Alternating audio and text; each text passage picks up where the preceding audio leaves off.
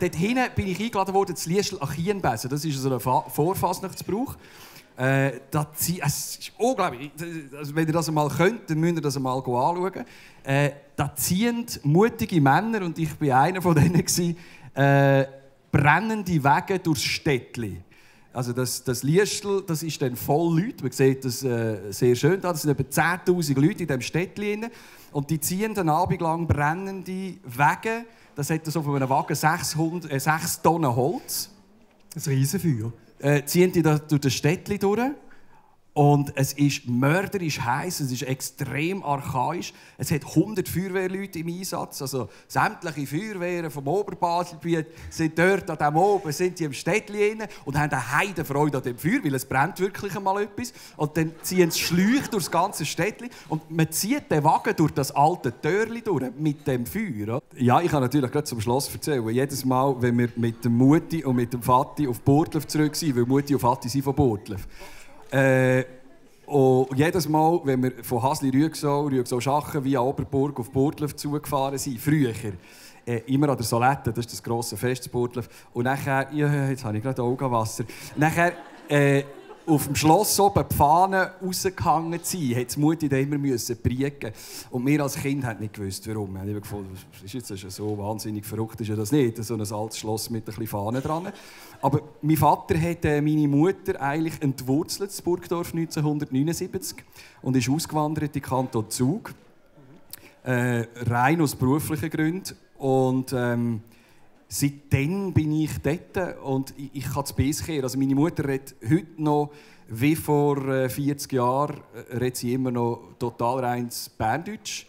Sie regt sich manchmal auf, dass sie äh, Schrank sagt und nicht mehr schafft, weil auf Berndeutsch ist ein Schrank ein Schaft. Ja, muss schon, ja. ja. Schafft, ja. Aber wenn ich mit meinen Brüdern zum Beispiel oder mit Mutti und Vati oder mit den Verwandten äh, aus dem Kanton Bern rede, dann immer, dann immer Berndeutsch. Äh, als Jugendlicher, äh, wo du aufgewachsen bist, wenn du so Fotos siehst, jetzt wie hier, was was ist das für eine Zeit für dich, wenn du jetzt zurückdenkst? Hast du dort auch schon immer ein bisschen, ähm, das Faible für Radio, für Moderieren, für dich ein bisschen in Szene setzen? Hast du sehr aufmerksam beobachtet, was auf der Welt passiert ist und dann mit deinen Kollegen, Freunden das ein bisschen teilt? Oder wie war das bei dir? Gewesen? Wie alt bist du etwa da, ungefähr? 14? Ja, 15, 15 mhm. wahrscheinlich. Mhm. Das war das Carcassonne auf der, auf der Burgmauer. Das waren Ferien mit meinen Eltern äh, im Herbst ähm, wir sind auf Südfrankreich und haben für 14 Tage eine Wohnung gemietet äh, in der Zwischensaison sind dort runtergekommen und dann sind noch die dreckigen Pfannen den Vormieter im Brünnli Äh, meiner Mutter ist der Laden gerade runter, äh, meinem jüngeren Bruder auch. Mein Vater und ich haben gefunden, so schlimm ist es doch nicht und wir sind zusammen zu Nacht essen. Und äh, meine Mutter hat nur ein Tomatensüppli essen und hat uns eigentlich die ersten drei Tage von diesen Ferien ein vermiesen Das zeigt das Bild, glaube ich, exemplarisch. Es ist, du bist nein, glücklich auf das ist, Bild, Ja, nicht wirklich. nicht wirklich. nein, das ist so, ja, halt so ein bisschen Bibeli, Jugendjahr, äh, so pubertierend. Ähm, ich habe mich gern in Szene gesetzt, das habe ich schon immer gern gemacht. Aber immer so äh, mit anderen zusammen in, in einem Ensemble. Ich bin jetzt nicht äh, der, der Klasse, Klassenglow oder so, ähm, aber ich hatte ein Faible für Stimmen, für für, äh, fürs Radio. Ich äh, war am liebsten krank daheim und habe von morgen früh bis zum Abend spät DRS1, Uli Beck und, und Konsorten gelost. Hast du damals gesagt, der Christoph Schwegler hast du doch auch gelost damals? Der Christoph Schwegler habe ich dann auch einmal gelesen, genau, liebe Country-Freunde.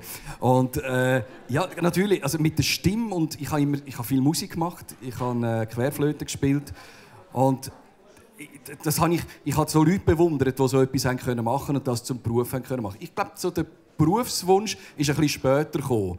Äh, ich habe das Gefühl, ich muss etwas rechts machen. Ich war der Erste in der Familie, der äh, Matura gemacht hat. Es hat noch mal meine Gotte gegeben, aber dann war ich fertig. Und die hat Jus studiert und ich habe darum auch Jus studiert, weil ich das Gefühl hatte, es gäbe nichts anderes als, als das.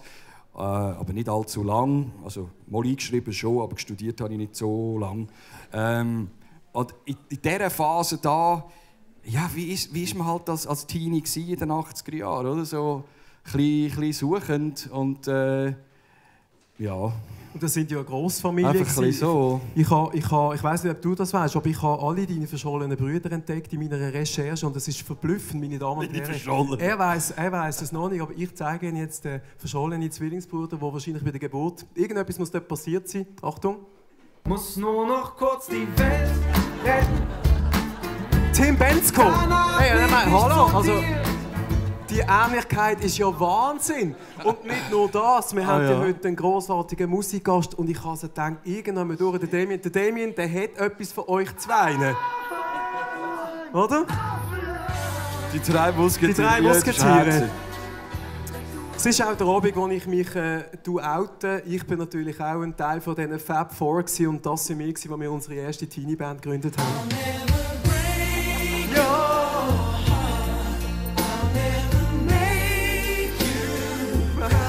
Ja. 20. Ja, mit blonden Haaren. Gut, kommen wir zurück ins Kriesland. das ist der Unterschied. Ich meine, du hast mit 20 schon mörderisch ausgesehen, oder? Früher hat man ja noch nicht können ins Radiostudio reinschauen mittlerweile durch Klar, Webcams und hat, so weiter. finde ich, finde ich nicht immer lesen, oder? Weil, weil es hat ja so ein bisschen den, es hat ja so ein bisschen den Zauber genommen im Radio.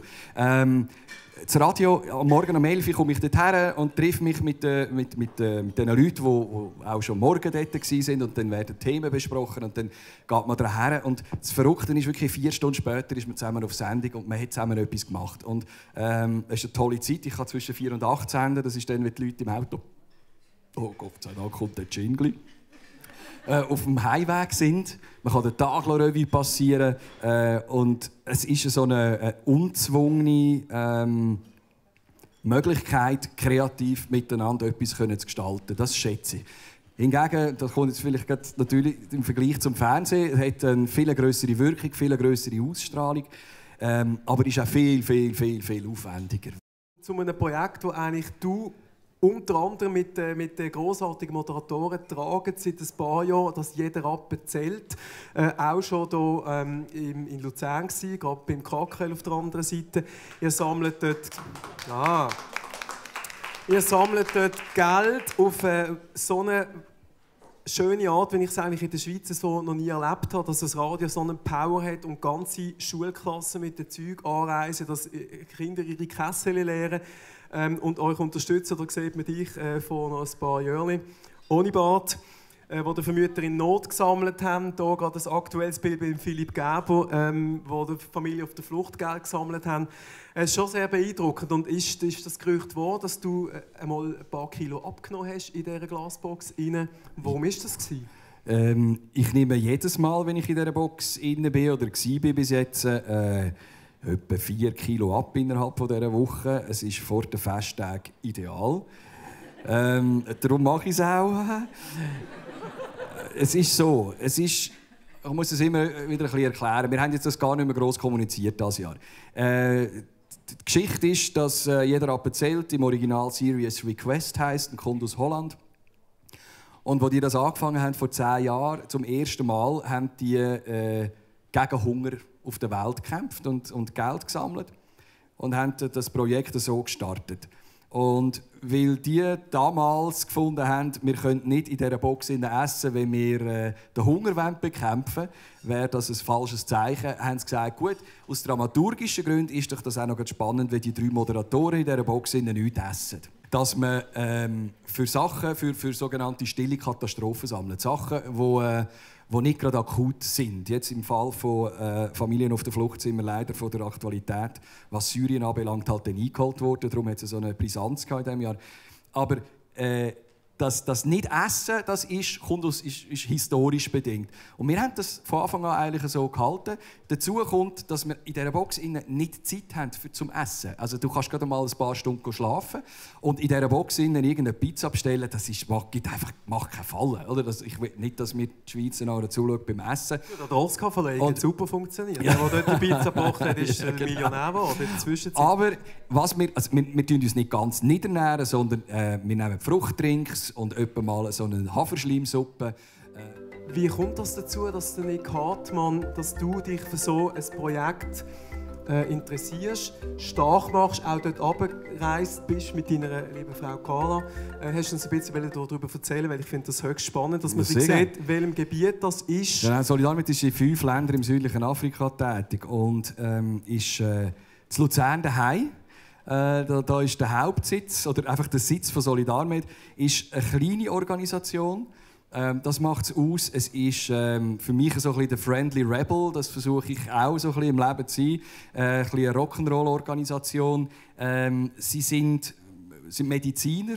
Und was einfach das Faszinierende ist, man schafft nicht mit, äh, mit Ärzten, die Lust haben ein bisschen auf Abenteuer und schicken die auf Afrika und gehen jetzt mal dort unten impfen und dann mal ein bisschen helfen. Sondern Solidarmed ist eigentlich so etwas wie eine Beraterfirma, eine Consultingfirma für, äh, für die Regierungen im Gesundheitswesen. Es gibt Menschen, die, aus Europa kommen oder aus Amerika, die, Solidarmed anstellt, die medizinischen Background haben, die die Leute dort abschicken. Die sind dann irgendeinem Ort äh, vor Ort und, und meistens in der Nähe von einem Spital. Und es geht um Access, es geht um, um die Versorgung. Afrika hat, hat Medikamente das ist heute nicht mehr so ein Problem. Ich meine, auch die Pharmaindustrie hat das Problem erkannt, dass sie mit dem auch Goodwill schaffen können, äh, dass, dass, dass Afrika genauso ein Anrecht hat auf eine medizinische Versorgung wie der Westen auch, dass das nötig ist, für, dass man, wenn die Menschen gesund sind, dass sie auch Energie haben, für alles andere aufzubauen. Äh, solange dass man muss Angst haben, dass wenn man ein Kind auf die Welt äh, stellt, dass es die ersten fünf Jahre nicht überlebt, weil es einfach in 30 Prozent der Fälle immer noch so ist, äh, kann man nicht vorwärts denken, kann man keine Zukunft aufbauen. Können wir uns gar nicht vorstellen. Und ja, es ist, nein, aber ich, ich bin nicht, ich glaube, ich bin nicht der, der gute Mensch, der dort runtergeht und geht, kleine Kinder streicheln und, und geht, Autöle verteilen, sondern ich gehe das runter anschauen. Wir gehen alle zwei Jahre mal Projekte anschauen und meine Aufgabe, das ist Lesotho übrigens, äh, das oben noch hundertprozentig mit diesen runden Steinhäusern. Und ich habe die spannendsten, eindrücklichsten äh, Leute getroffen, die so aufgewachsen sind äh, und, und äh, nachher äh, den Weg gemacht haben in die Public Health und, und dort jetzt für ihre Leute, das Wichtige ist, die Leute, die in diesen Ländern aufwachsen, die können schulen, dass die nicht weggehen und das Gefühl haben, sie hätten irgendeinem Ort auf der Welt ein besseres Leben, sondern dass man die Leute dort unten behalten kann und dass sie für ihr, für ihr Land und für ihre Bevölkerung können sorgen. Und Solidarmed macht das auf eine sehr lässige, unkomplizierte Art und Weise.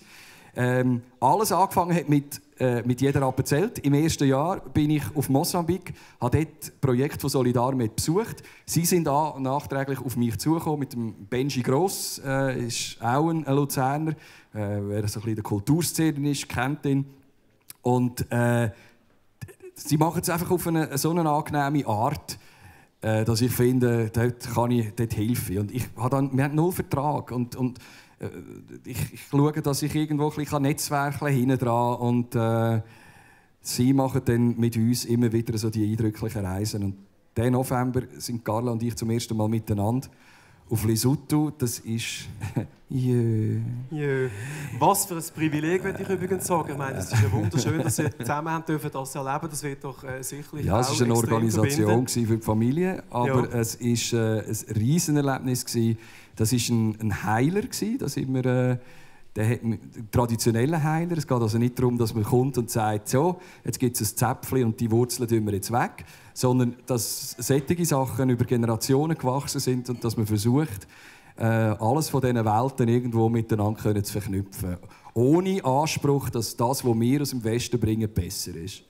Und das ist ein, äh, ist ein toller Ansatz und so, so finde ich, muss, muss äh, Hilfe auch gehen. Und nicht Hilfe zur, äh, zum Selbstzweck, dass man sagt, man hat etwas Gutes da, Judy Hui, ich kann es meinen Kollegen erzählen, sondern einfach, dass man ein bisschen teilen kann. Und ich glaube, es ist auch für das, was jeder erzählt, auch, äh, auch ausmacht. Wir haben so eine neue, neue Kultur vom Teilen ein bisschen können, können etablieren dass es, dass es recht Spass machen kann. Ich glaube, das macht dich auch sehr authentisch und, und für das, äh, finde ich, hast du äh, ganz, ganz äh, bestimmt viele, viele Fans, viele Leute, die dich bewundern für das, was du machst. Ich glaube, deine Bescheidenheit ist das, was, man sagen kann, was ich jetzt in diesem Gespräch rausgespüre. Ähm, das zeichnet dich wirklich aus. Und großartig, danke für, dass du uns so ein bisschen noch hast teilhaben von dem jetzt von ein Abschlussbild, wunderschön, oder? Schöne an dem Tag ist, meine Damen und Herren, wenn Sie jetzt nicht Gelegenheit ergreifen, dann sind Sie wirklich selber schuld, aber man kann äh, unsere Stars oder auch mich oder Damien etwas fragen. Und ich ziehe jetzt einfach mal ein willkürliches Kärtchen und da wird jemand wissen, ohne Namen, was war der schlimmste Moment bei Ihnen in einer Live-Fernsehsendung? Ähm, das war das Finale von der Landfrauenküche vor etwa drei Jahren, wo, wo ich die falsche Frau ausscheiden musste. Beziehungsweise die falsche Frau weiterkommen weil man mir das falsche Gouvert gegeben hat. Das war eine Live-Sendung. Und dann habe ich ähm, die heimgeschickt und die andere weiterkommen. Das war immer das war so ein, ein Göpp-System.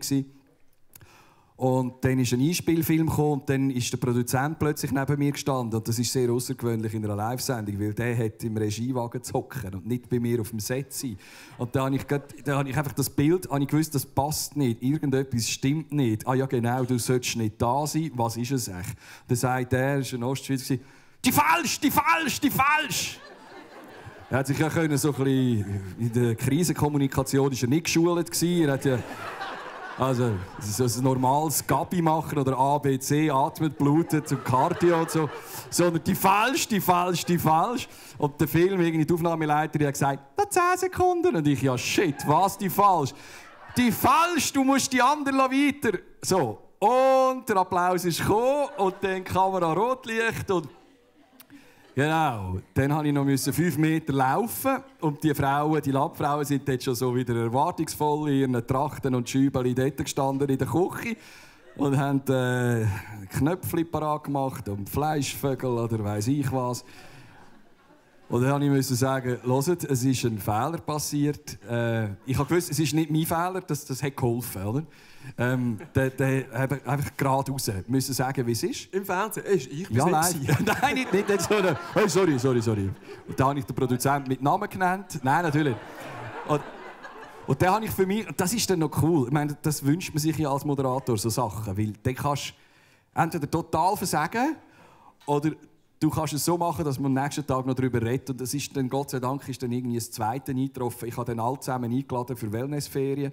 Und äh, der, wo der andere dann noch ein Wochenende noch dazugegeben. Da habe ich dann alles entschieden. Und ich habe gewusst, die kochen die jetzt in der Regie, weil die sehen die Kosten, oder? Die gesamte Jahresgage von dir hast du für die Landfrauen ausgegeben, damit es genau. ein paar schöne Ja, so, so in der so, ja. jetzt müssen wir auf dem Sender müssen wir jetzt einfach, müssen wir jetzt einfach charmant, jetzt müssen wir einfach gewinnen. Das ist mir gleich, wie dass man das nachher finanziert und wie das funktioniert. Und äh, das ist so, das ist ein Blutschwitz-Moment. Das, das gibt es schon. Im Radio habe ich mal den Falsch sterben. Da habe ich... Äh, da ist der Valo Lüend, ähm, jetzt muss ich aufpassen. Der Inigo Gallo ist gestorben und es war am Samstagmorgen im Radio und ich habe mich mit dem Produzenten besprochen und gesagt, du, Inigo Gallo ist gestorben, wem könnten wir anrufen? Und dann sind wir alle so ein bisschen Valo Lüend, könnten wir, Valo Lüend könnten wir anrufen, komm, wir Leute, ist langweilig. Spiel ah. begräben, weißt komm, komm, wir läuten am Valo Lüend an weil der Inigo Gallo ist gestorben. Und dann habe ich, ah, mach weiter, ist gut. Und dann haben wir gesagt, Valorient, Valorient, Valorient. Komm, wir läuten dem Valo an. Der Valo, der Valo, der Valo, ist immer ein Valorient. Gut, noch 10 Sekunden, ich gehe auf den Sender, ich sage was passiert ist. SRF 3, es ist 10 Minuten ab 8 Uns hat heute eine traurige Mitteilung erreicht. Der Valorient ist gestorben.